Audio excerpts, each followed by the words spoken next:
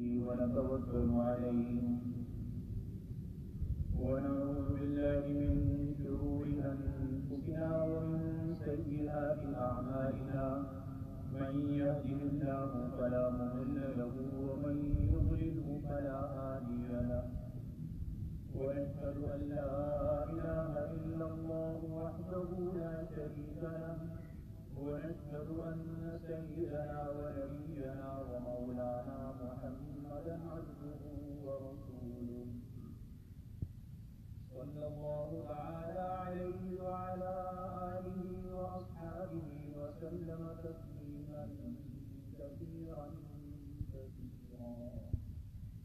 أما بعد فأعوذ بالله من الشيطان الرجيم.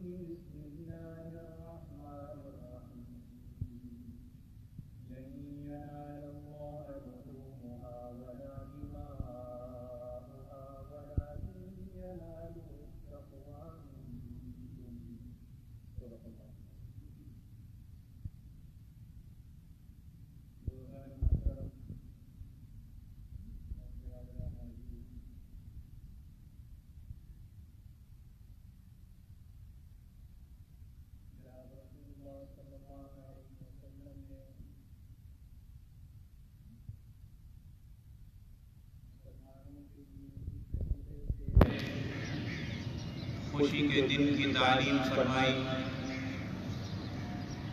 ہم اس کی نقل کرتے ہوئے یہاں پر حاضر ہیں۔ اور یہ مسلمانوں کی سال کی دوسری اور آخری عید ہے۔ پہلی عید عید الفطر اور دوسری عید عید الاضحیٰ۔ عید الاضحیٰ اس میں ہونے والے اعمال اور افعال۔ یہ سیدنا ابراہیم علیہ السلام والسلام کے اور سیدنا اسماعیل علیہ السلام والسلام کے افعال اور اعمال کی یادگار ہیں۔ اللہ رب العزت نے جن مسلمانوں کو توفیق عطا فرمائی اور جن کا انتخاب فرمایا انہیں حج بیت اللہ کے لیے بلایا اور اس سے ایک بہت بڑی تعداد اپنے اپنے علاقوں اور اپنے وطن اور اپنے ملک میں موجود ہیں۔ ان کو حکم دیا کہ عید الاضحیٰ کے لیے دس ذی کو اللہ رب العزت کے سامنے دوگانہ ادا کیا جائے اور شکر کیا جائے۔ اور جو صاحب استطاعت ہیں ان کے اوپر اللہ رب العزت نے قربانی کو واجب فرمایا۔ یہ قربانی جو ہم اور آپ کرتے ہیں، جناب رسول اللہ صلی اللہ علیہ وسلم سے جب سوال کیا گیا تھا کہ یہ کیا چیز ہے، تو آپ نے صحابہ کرام علیہ رضوان کو یہ بات سمجھائی تھی کہ یہ تمہارے باپ ابراہیم علیہ السلام کی سنت اور طریقہ ہے۔ اور دراصل جو حضرت اسماعیل علیہ السلام کو قربان کرنے کا حکم ہوا تھا اور حضرت ابراہیم علیہ السلام اس امتحان میں کامیاب ہوئے تھے۔ وَإِذِ ابْتَلَى إِبْرَاهِيمَ رَبُّهُ بِكَلِمَاتٍ فَأَتَمَّهُنَّ اللہ رب العزت نے حضرت ابراہیم علیہ السلام کو جتنے بھی امتحانات میں ڈالا، اللہ نے اس میں ثابت قدمی عطا فرمائی۔ اور سب میں کامیابی ہوئی اس میں سے ایک یہ بھی اللہ رب العزت نے ان کے اخلاص اور تقوی کی وجہ سے حضرت اسماعیل علیہ السلام کے بدلے میں جانور کی قربانی مشروع فرمائی اور وہی قربانیاں آج ہم تک اور ہم سے قیامت تک رہیں گی۔ تو حضور علیہ السلام نے فرمایا، تمہارے باپ ابراہیم علیہ السلام کی یادگار ہے ان کا طریقہ ہے، ان کی سنت۔ اور یہ قربانیاں جو ہم اور آپ کرتے ہیں، اللہ رب العزت نے اس کی کوئی حدود متعین فرمائی یہ نہیں ہے کہ جس طریقے سے چاہیں اور جس طرح چاہیں ہم کر لیں۔ ابھی ایک جگہ فجر کی نماز کے بعد ایک جانور بیمار تھا، زمین پر لیٹا ہوا تھا۔ ایک صاحب رائے دے رہے تھے کہ میں تو، میرا تو خیال یہ ہے، فجر کی نماز ہو گئی ذبح کر لیں۔ یہاں رائے نہیں چلتی۔ یہ اللہ کا دین ہے۔ شہروں میں جہاں پر عید کی نماز ادا کی جاتی ہے، وہاں عید کی نماز کا وقت ہونے کے بعد، عید کی نماز پڑھنے کے بعد قربانی ہے۔ اس سے پہلے۔ اور گاؤں دیہات میں جہاں جمعے کی نماز ادا نہیں ہوتی، وہاں کوئی انتظام نہ ہو، تو وہاں عید کی، عید کے دن قربانی کا وقت ہے فجر کی نماز کے بعد سے۔ اللہ نے حدود متعین کیا جس طریقے سے اس کا وقت متعین ہوا ہے، اسی طریقے سے قربانی میں اللہ رب العزت نے یہ بھی تعلیم فرمائی کہ قربانیاں تین دن ہوں گی، دس ذی الحج گیارہ ذی الحج بارہ ذی الحج کے غروب آفتاب تک۔ اس کے بعد قربانی لوگ کہتے ہیں چوتھے دن تکبیرات تشریف پڑی جاتی ہیں، تو چوتھے دن کیوں نہیں ہوتی؟ ان سے سوال یہ ہے کہ نو تاریخ کو بھی تو پڑی جاتی ہے اس دن کیوں نہیں کرتے؟ اللہ کے رسول نے کر کے بتلایا ہمیں کہ اس وقت سے لے کر اور اس وقت تک قربانی۔ پھر یہ بھی کہ اللہ رب العزت نے قرآن مجید میں یہ بھی بتلا دیا دیکھو جو تم قربانی کرتے ہو، نہ میرے پاس اس کا گوشت پہنچتا ہے، لن ینال اللہ لحومها ولا دماغها اس کی ہڈیاں بھی نہیں پہنچتی۔ ولیکن ینالہ التقوی منکم، اگر کوئی چیز پہنچتی ہے تو وہ صرف تمہارا تقوی۔ اللہ سے ڈر اور خوف۔ کتنا تقوی ہے؟ ہر انسان اپنے دل میں جانتا ہے اور اللہ جانتا ہے۔ تو سب سے پہلی تعلیم یہ ہوئی کہ قربانی کرنے کی جنہیں اللہ نے توفیق عطا فرمائی ہے۔ بھائی، یہ پہلی سب میں کپڑے بچھانے کے بجائے پیچھے چلے جائیں، بعد میں سب چڑی ہو جائے گی۔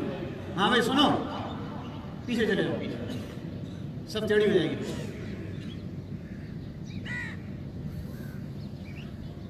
اللہ رب العزت نے تقوی کا حکم دیا، تقوی اختیار۔ اور یہ تقوی اور اخلاص نہیں ہوگا تو دنیا کا کوئی بھی کام نہیں چلے گا، دین کا کام بھی نہیں چلے گا۔ تقوی کسے کہتے ہیں؟ تقوی اسے کہتے ہیں کہ اللہ اور اس کے رسول نے جس بات کا جس طریقے سے کرنے کا حکم دیا ہے، اس کو اسی طریقے سے کیا جائے۔ اور یہ ڈر کر کیا جائے کہ اللہ رب العزت کے سامنے میں یہ عمل کر رہا ہوں۔ اللہ قبول فرما لے۔ اسے اور اگر قبول نہ ہو تو پھر کہاں کروں گا کہیں کا بھی جی؟ اللہ رب العزت کے سوا کون سا در ہے؟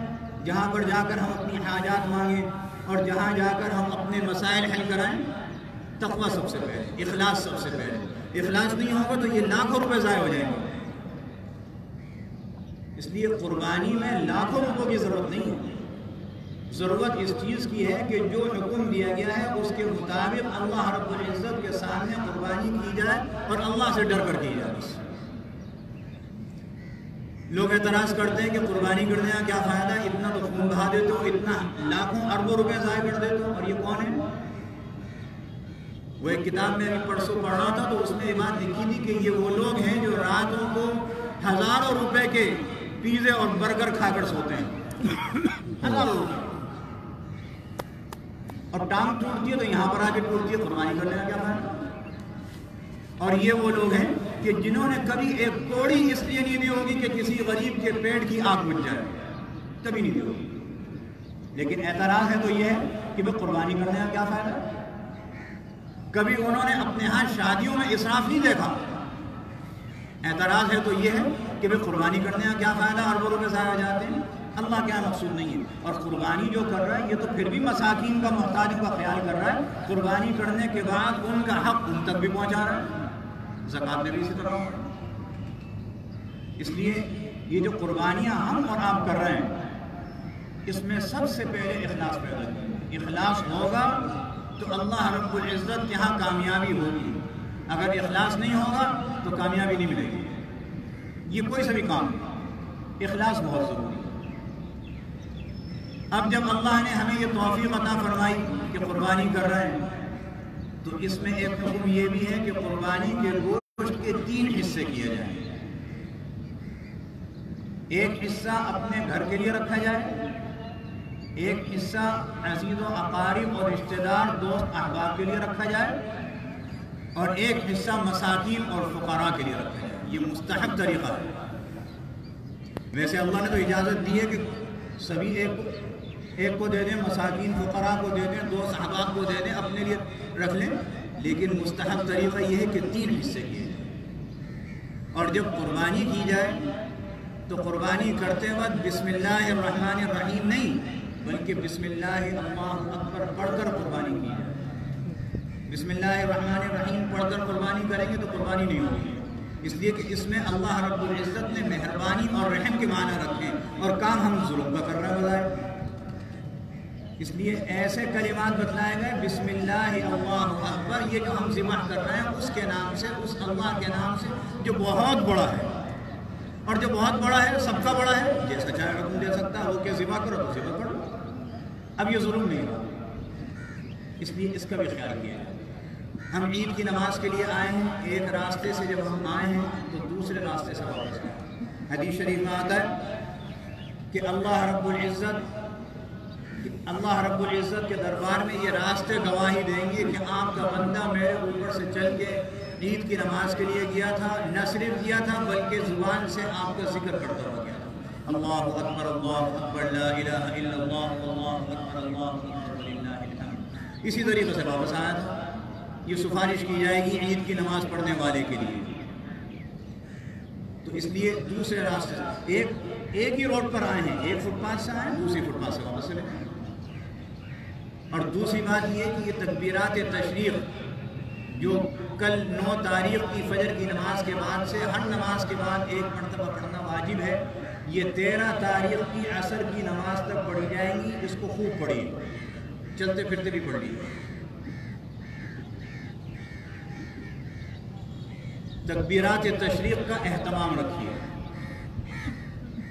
اب جس عید کی نماز کے لیے ہم آئے ہیں، اس کی ترکیب اور ترتیب سمجھ لیجیے یہ عید کی نماز واجب ہے۔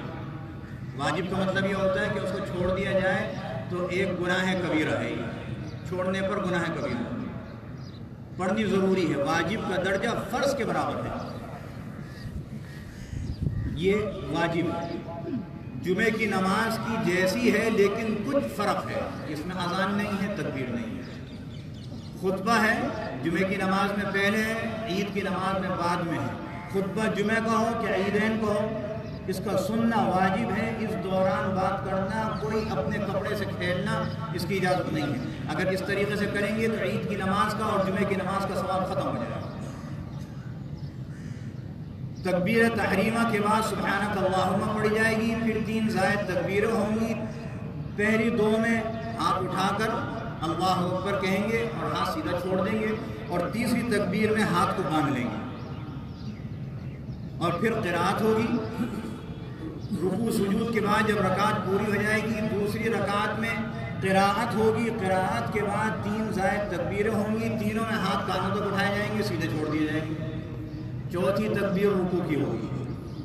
اور پھر اس کے بعد جب نماز ختم ہو جائے گی، یہ صرف دو رکعت ختم ہوئی ہے، عید عید کی نماز ختم نہیں ہوئی، وہ پھر خطبہ ہوگا خطبہ سننا واجب ہے۔ خطبے کے بعد یہ عید کا جو اجتماع ہے، یہ مکمل ہو جائے گا۔ یہ ترکیب ہے۔ وقت ہو گیا ہے، آپ حضرات صفوں کو درست کر لیجیے۔ صفیں بالکل سیدھی رکھیے، سب ٹیڑھی نہ ہو